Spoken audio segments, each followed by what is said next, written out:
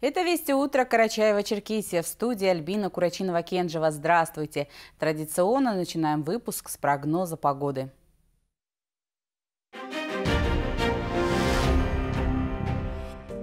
Карачаево-Черкесии местами кратковременный дождь, ночью в горах с мокрым снегом. Ветер северо-западный 6-11 метров в секунду. Температура воздуха ночью плюс 3, плюс 8. В горах местами минус 4, плюс 1. Днем плюс 16. В горах местами до плюс 8. Черкесский ночью и утром кратковременный дождь, днем без существенных осадков. Ветер северо-западный 6-11 метров в секунду. Температура воздуха ночью плюс 5, плюс 7. Днем плюс 14-16 тепла.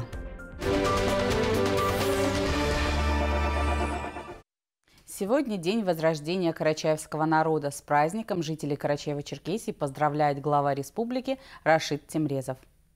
Для нашей многонациональной и многоконфессиональной республики, в которой чтят все памятные даты, этот день в числе особо значимых.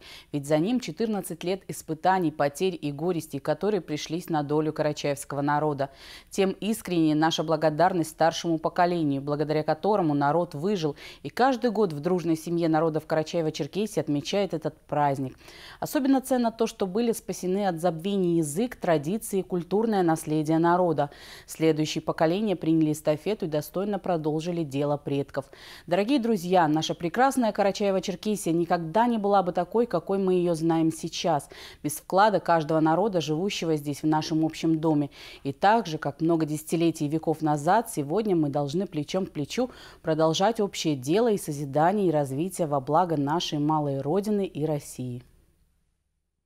Черкесск приехал Евроцирк Шапито. Артисты удивляют всех гостей оригинальными номерами. Козел-канатоходец, ловкие акробаты, летающие гимнастки под куполом цирка, веселые клоуны, умные животные плюс ко всему хорошая музыка. Это было интересное и незабываемое представление. В этом убедилась и Альбина Ламкова.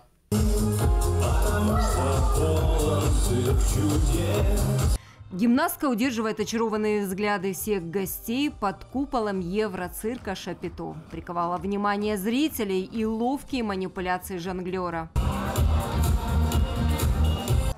А какой же цирк без клоуна? Он периодически развлекал гостей своими забавными номерами. Все его действия вызывали один лишь смех. Интересные задания предусмотрел и для детей. Атмосфера в зале была веселая, все были заинтригованы. Одна эмоция сменяла другую. Два часа пролетели незаметно. Динамично, весело и интересно. Удивляли не только артисты, их красивые костюмы, но и, и умные животные. Блистательная Джемма!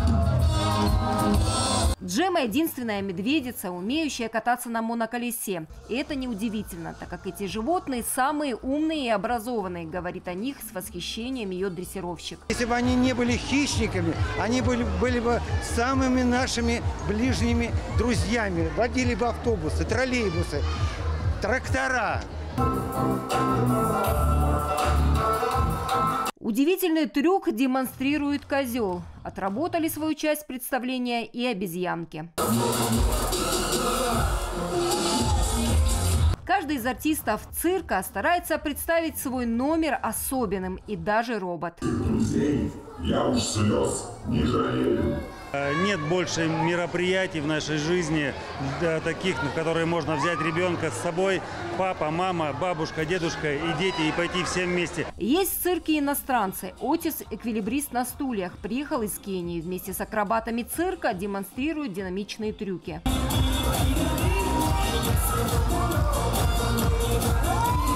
Держал всех в напряжении необыкновенный железный человек и его экстремальное выступление. Погнуть железо и поднять груз, а еще выдержать на себе автомобиль весом 3,5 тонны. Аплодисменты зрителей еще долгое время удерживали артистов на арене цирка. Это бомба. Такого восторга я не ощущала давно. Мы постоянно посещаем с детьми, но таких эмоций мы получили, наверное, впервые. Просто шоу уникальное. Альбина Ламкова, Мухаммеда Шибоков, Вести, Карчаева-Черкесия. На этом я прощаюсь с вами, а через несколько минут в эфир выйдет информационный выпуск на карачаевском языке. Затем вашему вниманию будут представлены программы карачаевской редакции. А в 14.30 смотрите «Вести» с Муратом Джанкезовым. Удачного дня и до встречи в эфире!